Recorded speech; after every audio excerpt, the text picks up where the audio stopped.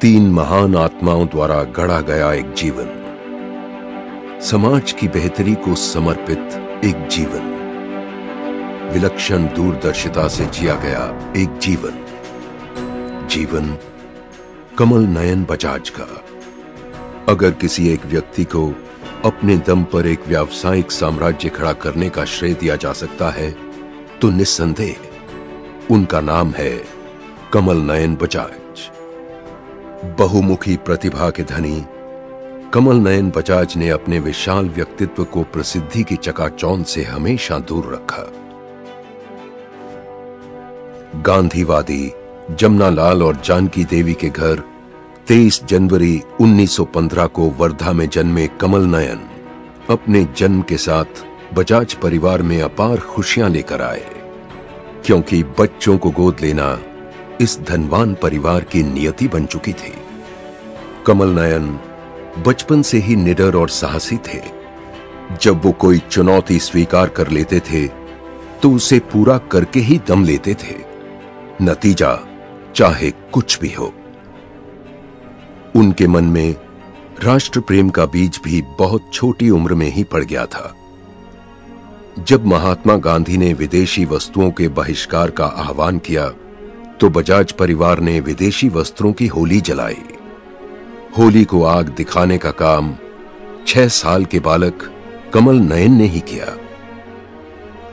एक बार उनके मित्रों ने उन्हें चुनौती दी कि अगर वो चाहते हैं कि वे भी खादी अपनाएँ, तो पहले कमल नयन वर्धा के बछराज भवन की दीवार से नीचे कूद कर दिखाएँ। कमल नयन फ़ौरन दस फुट ऊँची दीवार से कूद पड़े। वो जीवन भर खादी के कट्टर समर्थक बने रहे।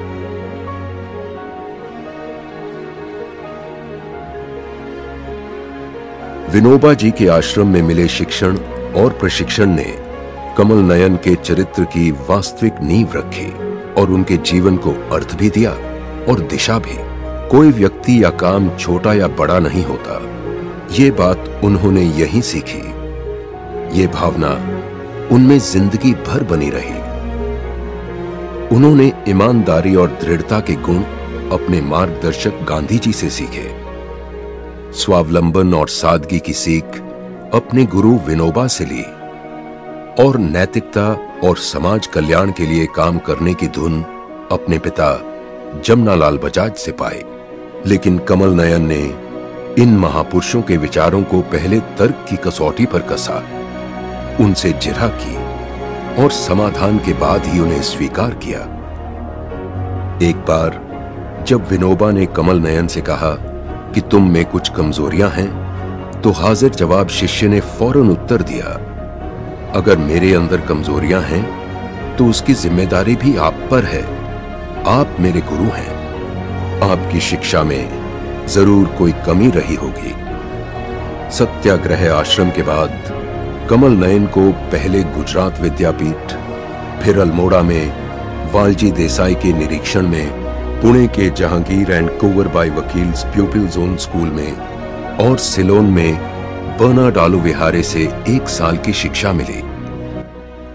1936 में कमल नयन ने कैम्ब्रिज में दाखिले के लिए अर्जी दी, लेकिन विधिवत शिक्षा न होने के कारण अर्जी रद्द हो गई।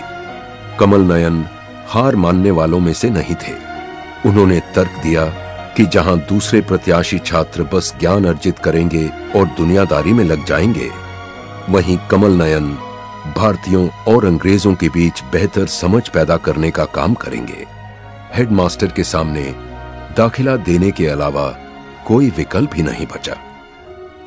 लगातार स्कूल बदलते रहने का कमल नयन के मन पर गहरा असर पड़ा। वैसे तो वो बड़े खुश मिजाज थे, लेकिन अकेलापन महसूस करते थे। किसी एक जगह ज़्यादा ना रह पाने के कारण वो स्थायी दोस्त बना ही नहीं पाए। स्वतंत्रता संग्राम के केंद्र में रहते हुए और प्रमुख नेताओं के संपर्क में आने से कमल नयन का मन ज्वलंत राष्ट्र प्रेम से ओतप्रोत हो गया। गिरफ्तारियाँ, जेल यात्राएँ, जुर्माना संपत्ति की जब्ती, बजाज परिवार के लिए रोज़मर्रा की बातें थीं। 1930 में गांधी जी ने नमक सत्याग्रह आंदोलन छेड़ा। तो डांडी मार्च में हिस्सा लेने वाले चुनिंदा सत्याग्रहियों में पंद्रह वर्षीय कमल नयन भी शामिल थे। इस दौरान कमल नयन ने जिन अनेक महत्वपूर्ण कार्यों को कामयाबी से अंजाम दिया, उनमें वर्धा, चिमूर आष्टी के स्वतंत्रता सेनानियों के लिए कानूनी सहायता जुटाना और उन्हें मृत्यु दंड जैसी सजाओं से बचाना भी शामिल था। इन आंदोलनकारियों में उनके चचेरे भाई राधा कृष्ण भी शामिल थे। राष्ट्र निर्माण के कार्य में उनकी भूमिका आज़ादी के बाद भी जारी रही। 1947 में कांग्रेस कार्यकारिणी ने कमल नयन को देशी राज्यों की उप समिति का सदस्य नामजद किया और बाद में स्वतंत्र भारत की All India States People's Conference का कोषाध्यक्ष नियुक्त किया। सरदार पटेल के प्रतिनिधि के रूप में उन्होंने दक्षिणी रियासतों के भारतीय संघ के साथ विलय में अहम भूमिका निभाई। वो लगातार तीन बार लोकसभा के सदस्य चुने गए, जहाँ उन्होंने हमेशा आम आदमी के पक्ष में और उसकी ज़िंदगी की बेहतरी के लिए आवाज़ उठाई। संसद की कार्रवाई में वो बढ़ चढ़कर हिस्सा लेते थे। शैक्षणिक, सांस्कृतिक, सामाजिक और औद्योगिक समस्याओं पर वो खुलकर बोलते थे। राजनैतिक और व्यवसायिक व्यस्तता के बावजूद कमल नयन एक पारिवारिक व्यक्ति थे। 30 जून 1937 को कमल नयन का विवाह सावित्री देवी पोदार के साथ हुआ। ये शादी बगैर टीमटाम और दोनों परिवारों के सामाजिक स्तर से विपरीत तो थी, लेकिन बजाज परिवार के सादगी के व्रत के एकदम अनुरूप थी। स्वतंत्र चिंतक के रूप में कमल नयन ऐसा जीवन साथी चाहते थे जो उनकी बराबरी कर सके। एक दृढ़ इच्छा शक्ति वाली पत्नी पाने की उनकी कामना भरपूर मात्रा में पूरी हुई। सावित्री देवी दबंग, जिद्दी और किसी के आगे न झुकने वाली महिला थी। इसलिए, जैसा कि सावित्री देवी ने खुद लिखा है, जब बिजली के दो ज़िंदा तार मिलते हैं तो यही होता है। कमल नयन में यह खासियत थी कि वो परिवार के हर सदस्य को यह एहसास कराते थे कि वो उनके लिए खास है और घर में उसकी एक अपनी जगह है।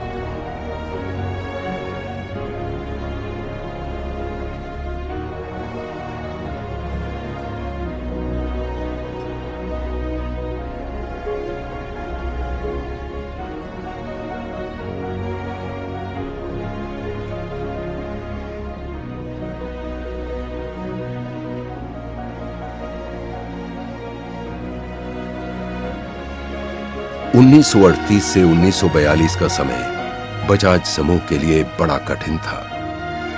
फैक्ट्रियाँ ठीक नहीं चल रही थी और जमनालाल अपनी अस्वस्थता और सामाजिक कार्यों पर ज़्यादा ध्यान देने के इरादे के चलते कारोबार संबंधी गतिविधियों से अलग हो गए थे। कमल नयन ने कैम्ब्रिज की पढ़ाई बीच में ही छोड़ दी और परिवार का कारोबार संभालने के लिए भारत लौट आए। 1942 का साल अशुभ साबित हुआ। 11 फरवरी के दिन वर्धा में जमनालाल का निधन हो गया। वे तिरपन वर्ष के थे। गहरे दुख से विचलित 27 वर्षीय कमल नयन को अपने कंधों पर आ पड़ी जिम्मेदारियों का एहसास हुआ। 1942 से 1972 के बीच का दौर राजनैतिक दृष्टि से बेहद नाटकीय रहा। आज़ादी की लड़ाई ब्रिटिश राज का अंत देश के बंटवारे की त्रासदी और पाकिस्तान और चीन के साथ युद्ध। यही वो हलचल भरा दौर था जिसमें बजाज समूह ने गंभीर चुनौतियों का सामना करते हुए कमल नयन के नेतृत्व में लगातार एक के बाद एक कामयाबी की मंजिलें तय की। उन्होंने अपनी कंपनियों को नया रूप और विस्तार देने का कठिन काम ही नहीं किया। देश के औद्योगिक विकास में भी योगदान दिया। वो देश के पहले ऐसे उद्योगपतियों में से थे, जिन्होंने टेक्निकल विशेषज्ञता के लिए विश्व की प्रसिद्ध बड़ी कंपनियों को भागीदारी बनाया, जैसे हॉलैंड की फिलिप्स और इटली की पियाजियो एंड कंपनी। कई बार उनके आलोचक उनके गैर पारंपरिक विचारों पर प्रश्न चिन्ह लगाते थे, लेकिन अंत में उनके फैसले ही सही साबित होते थे। और आलोचकों का मुँह बंद हो जाता था। कमल नयन के नेतृत्व में मुकुंद ने आँच उद्योग में गूंजने वाला फ्रूगल इनोवेशन का मुहावरा बहुत पहले ही प्रचलित कर दिया था।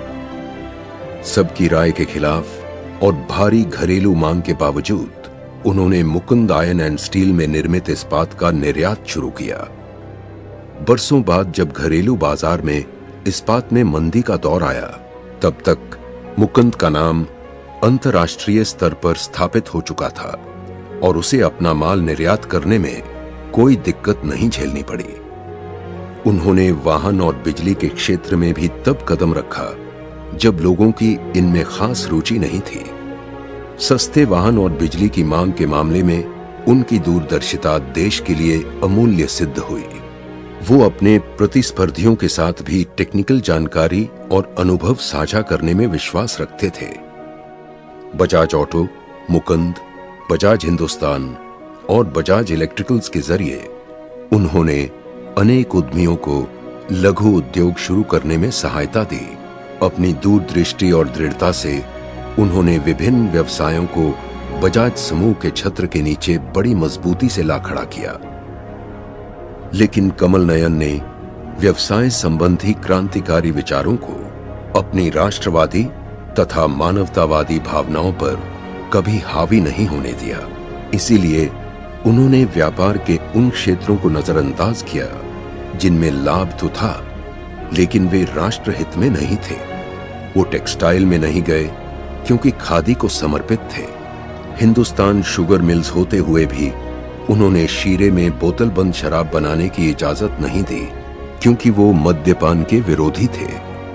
कमल नयन ने निष्ठा न्याय संगति ईमानदारी और नैतिकता के आधार पर एक कंपनी समूह का सफलतापूर्वक गठन किया। इन सभी जीवन मूल्यों की नींव उनके पिता जमुनालाल ने रखी थी। व्यवसायी कमल नयन अपनी सार्वजनिक जिम्मेदारियों को कभी नहीं भूले। अपने पिता की तरह, वो भी ये मानते थे कि कारोबार का मतलब सिर्फ़ मुनाफा कमाना ही नहीं होता। उसका संबंध समाज कल्याण से भी होता है। जमुना लाल की इच्छा को ध्यान में रखते हुए कमल नयन ने परिवार की संपत्ति में पिता के समूचे हिस्से से जमुनालाल बजाज सेवा ट्रस्ट की स्थापना की। उन्होंने शिक्षा, स्वास्थ्य सेवा, अकाल और बाढ़ पीड़ितों को राहत जैसे कल्याणकारी कार्यों के लिए भी सहायता दी। विनोबा के महान ग्रंथ, गीताई की चिरस्थायी बनाने और अपने गुरु को श्रद्धांजलि देने के लिए उन्होंने वर्धा में अद्वितीय गीताई मंदिर की स्थापना की। इस मंदिर में न कोई छत है, न ही कोई प्रतिमा। फिर भी जैसा सुकून यहाँ है, वैसा और कहीं नहीं। कमल नयन ने 1 मई 1972 की आधी रात को अहमदाबाद के राजभवन में शांति से अंतिम सांस ली। साबरमती के तट पर उनका अंतिम संस्कार किया गया।